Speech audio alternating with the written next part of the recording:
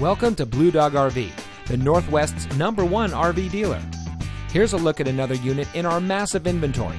This beautiful motorhome comes equipped with two swivel chairs, two entrances, double kitchen sink, wardrobe closet, three burner range, bathroom toilet, kitchen pantry, bedroom nightstand, bathroom shower, single slide, living area dinette, queen size bed, sleeps up to six people.